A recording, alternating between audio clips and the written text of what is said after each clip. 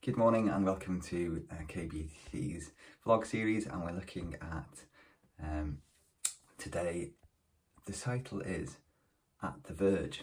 So uh, we're looking at Joshua today and how Joshua was a, a great leader and um, he was marked by his willingness, um, he was courageous and he was obedient and um, marked by his willingness to follow God's instructions um, as seen in the miraculous fall of the Jericho's walls.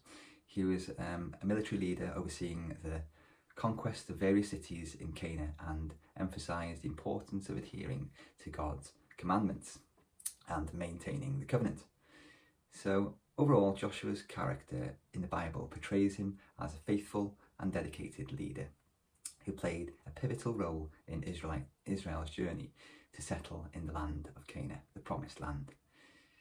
So today's title is On the Verge, and in the passage um, we find a call to strength and courage. Joshua is tasked with leading the people into the land promised to their forefathers. The importance of adhering to Moses' law is emphasised, as straying from it is cautioned against. This adherence to connected to um, achieving success. So from Joshua 1 6 to 7. Be absolute and fearless, for you shall guide these people to inherit the land I pledge to their ancestors. Show great strength and courage. Be vigilant in observing entire, the entirety of Moses' law. Do not deviate from it, either to the right or the left, so that success accompanies you wherever you tread. So a hymn by um, William Williams in 1740 5 expresses the journey as a pilgrimage through barren land, culminating in hope when stepping towards Jordan's brink. The hymn envisions the transition into Canaan as an end to fearful anxiety and a passage to safety. However, it's important to distinguish that the Israelites' entry into Canaan marked a beginning and not an end. This marked the establishment of God's chosen people in the promised land, abiding by his law amidst neighbouring nations.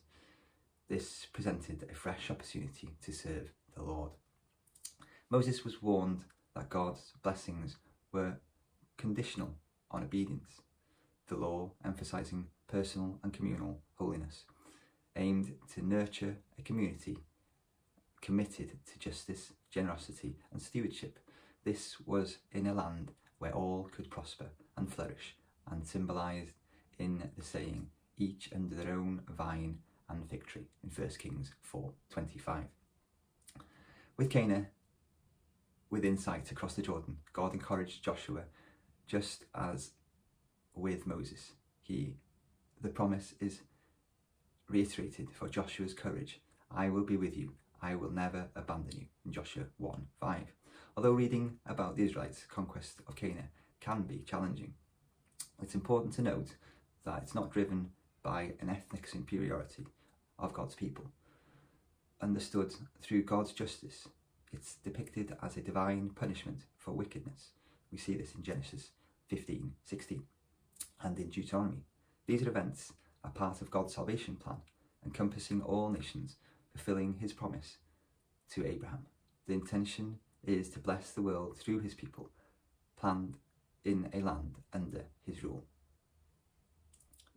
So the Old Testament stories, rich in imagery, have inspired the church, particularly the Exodus and wilderness accounts. New Testament writers view these as historical events, offering patterns of God's deliverance and the concept of rest. Hebrews 3 verses 7 and 4 13. They also serve as an example of warnings in 1 Corinthians 10 1 to 13. As Christians today, as part of God's unfolding narrative, we're redeemed by Christ and empowered by the Spirit. Our role is to form a new community amid our culture's challenges, living righteously, strong and courageous, embodied by the assurance, I will never leave you or forsake you.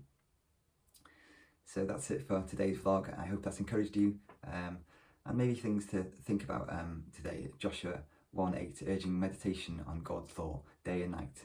Um, so we should focus on God's God's plan for us and what um, His work is in our community and in our lives. Have a good day, everyone. All the best. God bless.